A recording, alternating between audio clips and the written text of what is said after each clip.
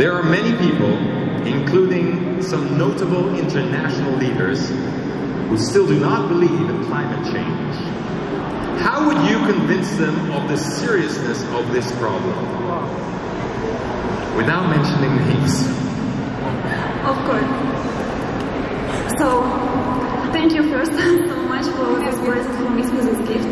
Uh, what I want to say, of course, uh, a lot of people people believe that climate change is real.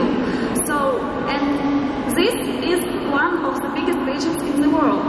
And we uh, promote the main ideas, the main problems in our planet Earth.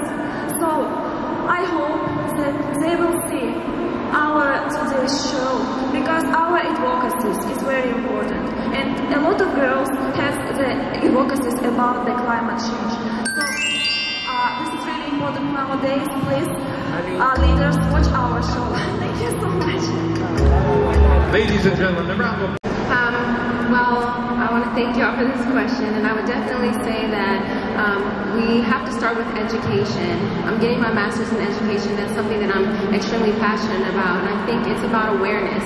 I don't think that people truly understand what is going on with our environment, and we have to get involved and teach ourselves and go to forums. And so I would uh, bring awareness by uh, just teaching him to, or teaching those that don't understand that to, um, to research and, and learn more. First of all, good evening, everybody. I would have to say that addressing this issue of people not believing in climate change is more of a matter of lack of education, and not only edu- lack of education, but also the ignorance and not wanting to inform themselves of the fact that we are living on a planet that is our biggest home, and we have taken advantage of it instead of putting back what it is giving to us.